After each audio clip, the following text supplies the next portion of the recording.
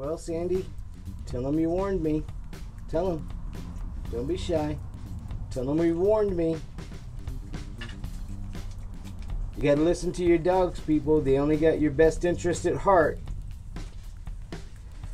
They warned me what would happen if I didn't quit touching my face. What are you gonna do? I see? I can't even scratch my nose. Thank you.